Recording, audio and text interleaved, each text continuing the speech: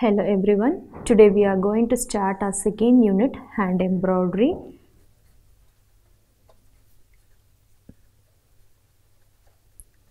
This unit entirely deals with 20 kinds of hand embroidery stitches. Before going to start the hand embroidery stitches, you have to know what are the general rules you have to follow before starting your embroidery. Let me say you what are the important things you have to keep in mind while doing your embroidery. It is very important to wash your hands while starting your embroidery because you may be in dirty hands when starting your embroidery in case you are choosing white fabric or white material for your embroidery with the dirty hands it may get dirt so be conscious. Before starting your embroidery you should wash your hands. Second is if you are planning to wash your embroidery article use only water and soap. And it is not necessary you need to squeeze your embroidery article. You should not uh, bring out your embroidery article because it may damage your fabric or it may uh, make the threads to ravel or it uh, decreases the strength of the embroidery stitches. So it is not necessary to use your embroidery article. Uh, if you want to uh, wash your embroidery article just use soap and water. And if you want to dry it don't make it in a hot uh, dry uh, you just uh, make the fabric to roll on a clean towel and let it dry naturally and coming to the third rule while doing your embroidery it is necessary to trim your extra threads because it may mismatch or it may get uh, confused with your existing stitches or with the stitches which you are planning for the next motifs. To avoid confusions, to avoid knots, try to trim the trailing threads. And uh, the other thing which you have to keep in mind is it is uh, obvious that we may do mistakes if you are planning to unravel any stitches you just use any pointed shears it is important to use pointer shears to unravel any stitch because uh, by using any blurred shears it may damage your fabric it may damage your embroidery stitches. So use pointer shears to unravel any stitches without damaging the base fabric. Next what you have to keep in mind is use uh, contrast colors to improve the beauty of your fabric. It is not the rule but it is the actually looks good for doing your embroidery stitches. Next what you have to keep in mind is um, after finishing your embroidery you're supposed to hang down the needle in the frame. You should not make the needle to stick on to your fabric as days goes it may rust your material which spoils your entire embroidery work. So be conscious. Once you finish your embroidery hang down the needle in the frame not onto the fabric. Hang down the needle.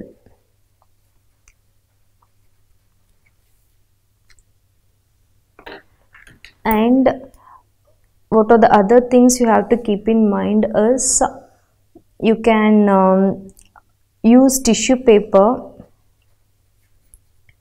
You may seen many of your costumes which you are using in your day to day life with embroidery can be find with tissue papers beyond your embroideries because it will be easy to work with the tissue papers and also the main thing why they are preferring tissue paper is it increases the strength of the embroidery stitches.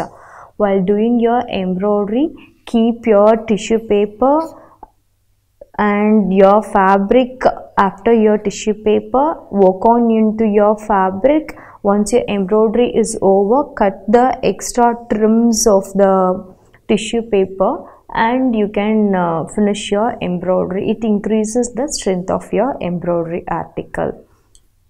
Next what you have to keep in mind is uh, you are supposed to be conscious while doing your embroidery because there is a chance to get injury because we are handling sharp tips of needles.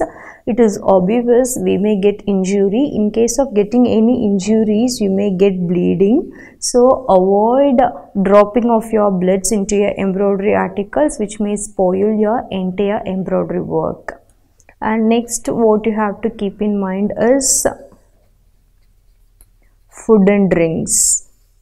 So it is common to everyone that while doing any works we may prefer having some foods and drinks nearby and we used to have that and do our embroidery or whatever the work may be. It is not wrong but you should be conscious while handling these kinds nearby you when doing your embroidery articles because you may not be conscious that you are uh, having food and drinks nearby while doing your embroidery. In case you are forgotten and uh, in case if any of your food articles or supposed to spoil your embroidery it uh, entirely spoils your embroidery work. So be conscious to avoid this kind of foods and drinks near your embroidery work.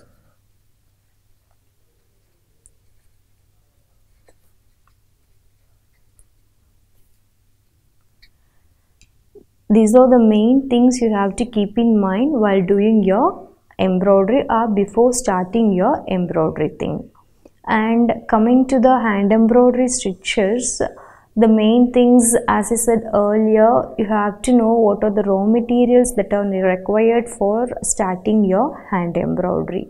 And also you will very well know about needle thread and fabric combinations for starting your embroidery. That is what we have to consider while starting your hand embroidery stitches. As you all know we want shears. We want frame. We need fabric. And we are supposed to have needle and thread for doing your embroidery work. So coming to the first one we have running stitches which is one of the basic stitch in hand embroidery. Let me demonstrate you how to do this running stitch. For doing this running stitch you can take any contrast colors. Here i'm handling gada material which is very off-white color. So it is uh, obvious any kind of colors is the contrast for this uh, fabric material. While doing your embroidery you should be conscious according to the color of the fabric you are supposed to take your thread combination. So that is what i said. You should know fabric needle and thread combination before starting your embroidery. Let me say you how to do the embroidery. And for this running whatever the hand embroidery stitches may be you're supposed to, to start the embroidery from downwards. From downwards you're supposed to come to the uh, face of the fabric to do the embroidery work. So uh, it is very important to decide the length of your thread before starting your embroidery. As i said in the previous classes you might have uh, known that we have six strands in an embroidery thread. Here I have chosen three strands for doing this running stitch. It is advisable to go with three strands for most of the embroidery stitches which makes the stitches to look beautiful or what it makes the entire embroidery to look very beautiful. Now let me say you how to do this running stitch embroidery. I have taken this kind of uh, length for doing this running stitch. You just uh, uh, thread your needle and fit your frame I have given uh, lines to start the embroidery stitches. It is very important about the distance how far you are leaving for your embroidery stitches because embroidery looks very beautiful in case of very close stitches if you are doing the stitches in a very long manner even though the procedure of doing the embroidery is correct the entire motifs may look good but not too good. To achieve the too good embroidery uh, stitches you're supposed to do the embroidery stitches in a very minute and closer ones which makes it very beautiful. So uh, as i said you have to start from the downwards. Once you start your embroidery just hold your thread with your left finger and bring your needle towards the face of your fabric. And for this running stitch it is said you have to make the needle to move up and down towards your fabric. Running stitches running the needle and thread up and down the fabric at regular distance. It is important you should maintain a regular distance for doing this running stitch. So I have made a one running stitch you can see I have made one running stitch my, my running the needle and thread up and down the fabric. See I have started the next stitch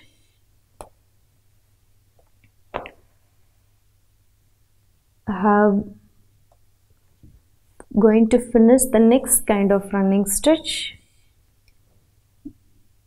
if you continue this, this can be called as running stitch. So it is important to maintain the distance of your continuous running stitches. If you notice clearly, I have uneven distances made but it is very important to maintain equal distance between the stitches and equal length of stitches I feel you understand the difference. You have to maintain equal distance between the stitches and equal length of stitches. Let me show you how you have to maintain the distance which makes it very beautiful.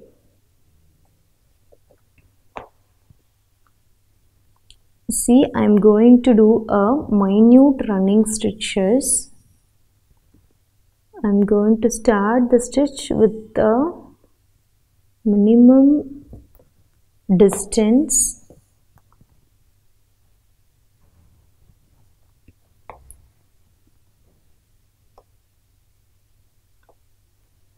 which makes the stitch to look very beautiful. See, you can uh, very well see the difference now because I have made a lengthier distance running stitches than what I made now. You can feel this looks better than what I made it already. And also the distance I have left is small than what I made it already. And also the length of the running stitch is also different for the before and after stitches which I made now. So you can feel what is the impact of leaving the distance and maintaining the length of the stitches in a small manner which makes the stitches to look beautiful. Let me now show you the entire motif image by using only the running stitch.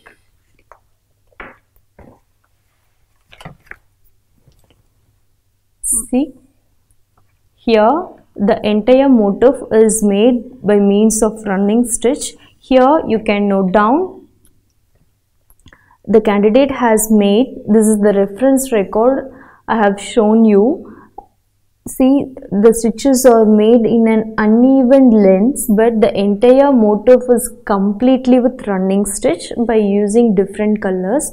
The candidate has chosen a white fabric which matches with all kind of contrast and dark colors. So this blue green red all looks very contrast to this running stitch for this fabric.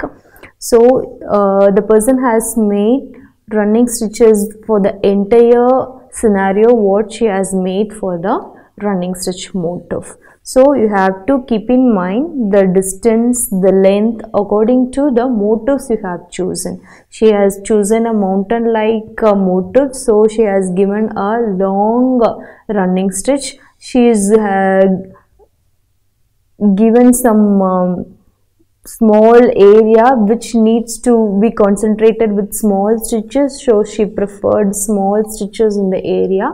So it is in your own opinion that you have to choose or decide the length according to the motifs you choose. This is what the running stitch. This running stitch can also be called as straight stitch. And also this running stitch can be called as straight stitch and this can be used as an outline stitch actually.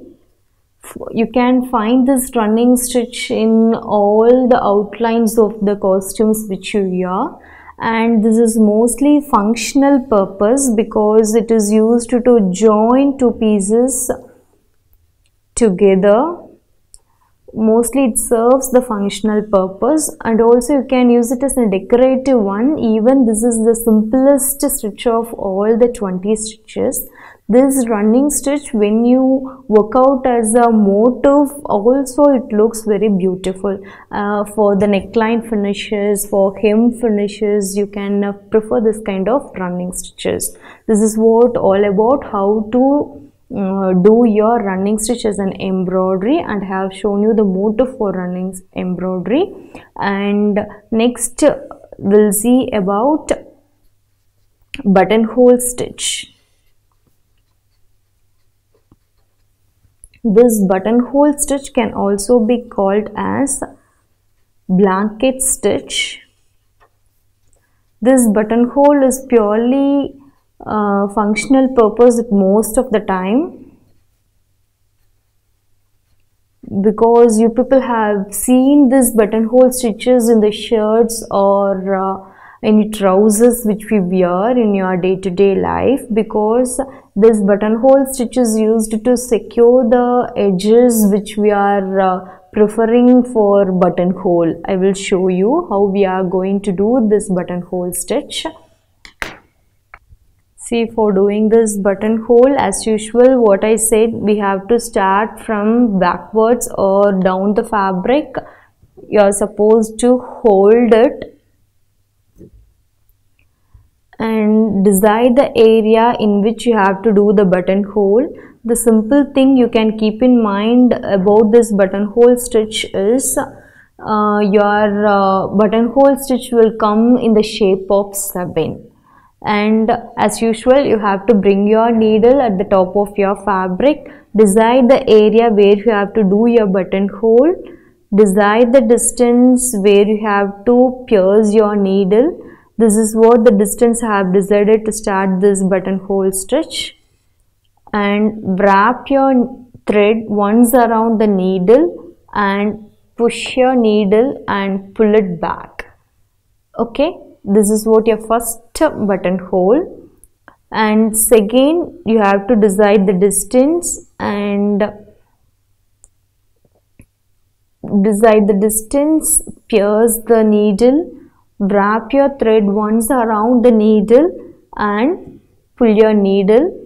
Then you will get the next buttonhole here once you complete your first buttonhole or continuous buttonholes you are making a knot at the one corner which secures the thread so if you repeat this you will get the buttonhole stitch. see i will repeat and show you how the entire buttonhole looks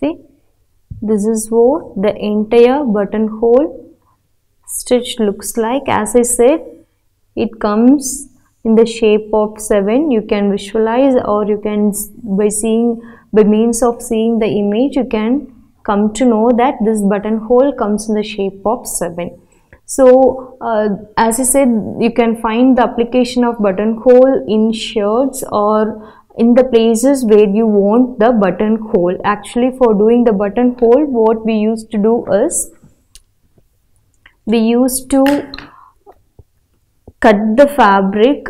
See if you are planning to do suppose imagine that this is the fabric where you are going to use for uh, doing your buttonhole stitch in case this is the place where you want your buttonhole stitch. For doing this buttonhole stitch it is supposed to cut the area inside the fabric for doing your buttonhole. See this is the area which is cut down for doing this buttonhole. Once you cut down this particular area the fibers will uh, protrude and we have uh, raveled threads in and around the hole it is the purpose of using buttonhole. You can secure the edges by doing this buttonhole stitch. So i'm uh, doing a 7 shape because the buttonhole stitch looks like that. While doing your buttonhole stitch in the place which is planned you're supposed to secure the edges which secures all the protruding fibers it hides all the protruding fibers and makes the final buttonhole stitch which can be allowed to insert the button inside for the purpose of our application. That is what the entire buttonhole stitch works and finds its application. And coming to the next stitch, satin stitch. This satin stitch is very easy procedure to do this satin stitch. Two things you have to concentrate while doing this satin stitch actually. What is the thing is uh, while putting your frame it should not be too tight uh, it is one of the rule actually you should not pull your thread too tight which may affect your embroidery stitch and also the fabric so for doing the satin stitch also it is mandatory you should not pull your thread too tight and also don't fit your frame too loose. I feel you understand what I'm coming to say because it should not be too tight or too loose. For doing the satin stitch, it consumes more number of thread for doing your satin and if you are fitting your frame in a too tight manner, it affects your embroidery stitches and also the fabric if you are fitting your frame too loose it feels you discomfort for doing the satin stitch. And also once your satin stitch is done when you take the fabric out of frame the satin stitch looks very snaggy. That is very loose which makes the stitch to look very odd or it is not as much as good. That is what it is very important to maintain these two aspects for doing your satin stitches. This satin stitch is purely filling stitch which can be used to fill the kind of motif whatever you have chosen. It consumes more thread. This kind of satin stitches finds its application in uh, many of the costumes like kurtis, salwars and all we can prefer this kind of satin stitches. Let me show you how to do this satin stitch.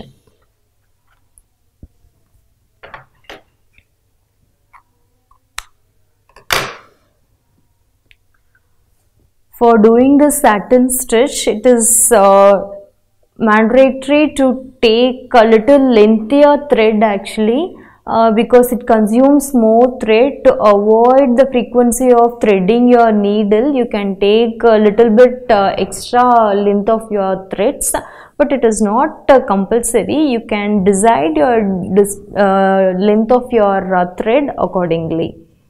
So suppose this is the area which I am planning to do your satin stitch. You can uh, have some uh, reference markings for doing your satin stitch. As usual you can uh, bring your uh, needle towards the face side of your fabric. As I said you are supposed to hold the fabric in your left finger. As I informed earlier this is my reference uh, marking for doing this satin stitch. I am going to complete this satin stitch with this markings. The satin stitch is one thing you have to concentrate.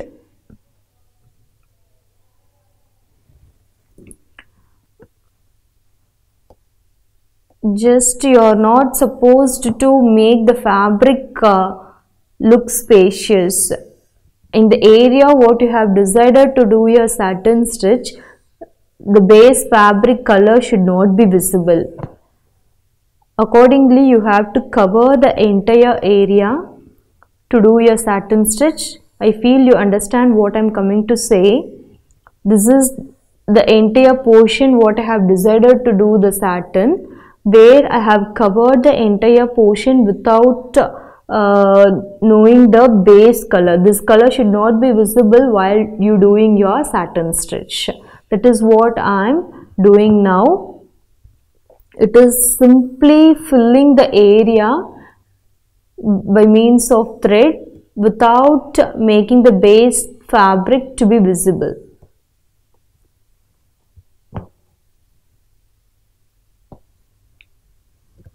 This is what the entire stitch goes. If you continue this according to how your design folds this is the procedure of doing your satin stitch.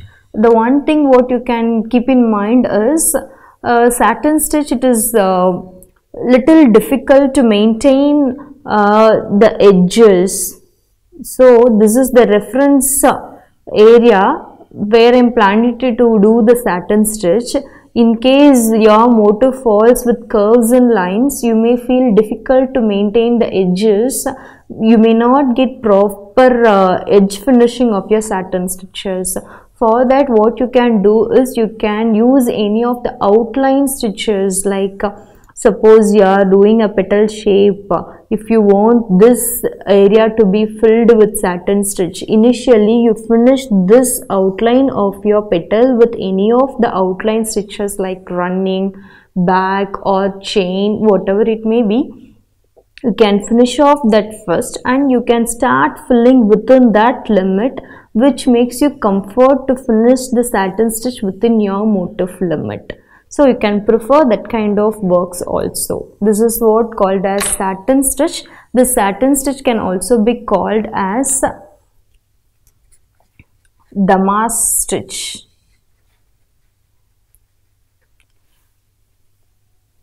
This is satin what I said. I will show you the motif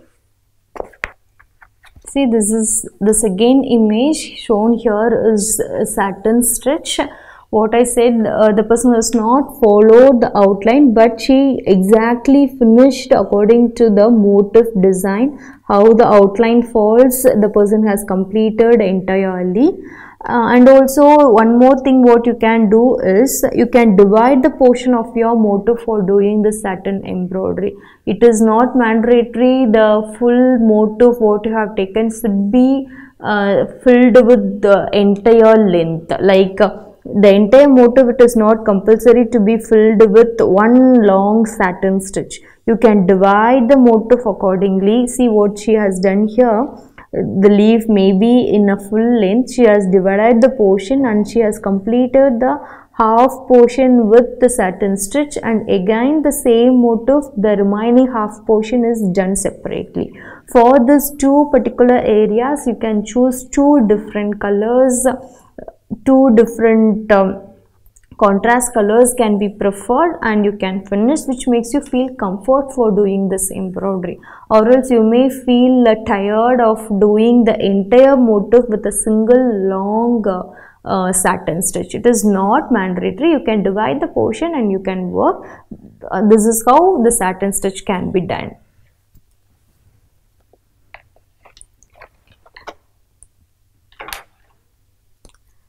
Next we can see back stitch.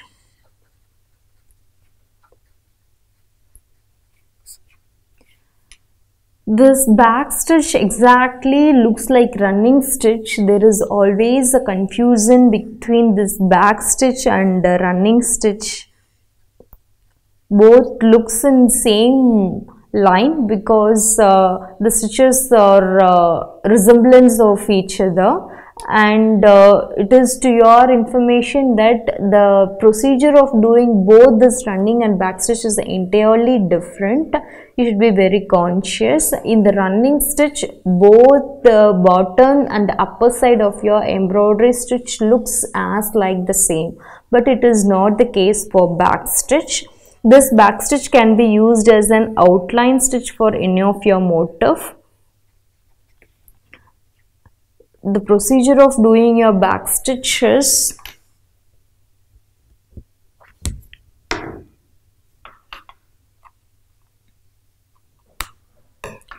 See it is not uh, necessary to knot your uh, embroidery thread edges to start your embroidery because uh, you may think it is the way to secure your embroidery stitches but it is not so. Once you start your stitches without knot and if you hold it with fingers for the initial two or three stitches the stitches will get settled. So uh, even though your uh, pull your thread it won't come out. So it is not mandatory to knot your stitches at uh, every stage of your uh, starting embroidery and also you may think it may be comfortable at the end of your embroidery you find a lot of uh, knots at the back side of your fabric which makes the fabric uh, may not lie flat when you finish your embroidery. It the knots makes the fabric to protrude to make it bulgier. So don't uh, do that. If you feel comfortable you can prefer but avoid having numerous knots in your embroidery threads. Let me thread the needle. Yes i'm done. So you should be conscious while taking this kind of lengthier threads because it may make knots while doing your embroidery in case of getting any knots or confusions, make sure your embroidery thread at the back of your frame has come entirely when you are pulling your needle. So coming back to the stitch what we are seeing back stitch as I said it may get confused with the running stitch. You can now see the running stitches which we made already. I will show you how the back stitch has to be done. Initially you have to start with the running stitch see I have taken a lengthier one.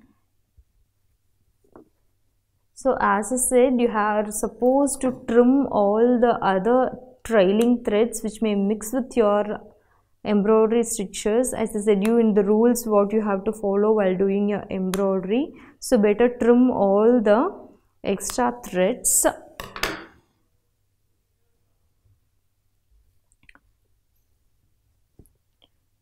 so hold the embroidery thread at the initial stage.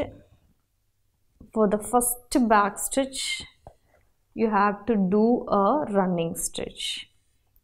And to start your next back stitch see consciously you have to leave the distance.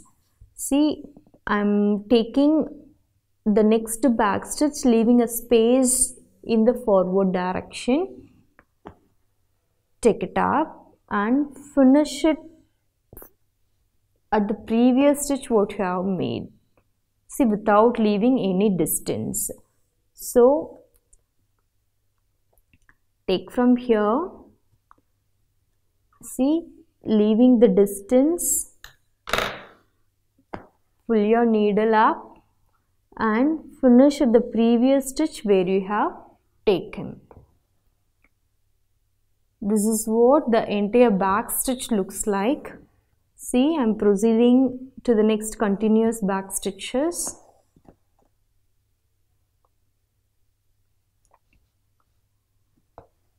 I'm deciding the distance. I'm deciding the distance, bringing the needle to the face side and piercing towards the end of the previous stitch. so that is what back stitch looks like. So you may get confused as I said. So keep in mind running stitches have distance between each and every stitches.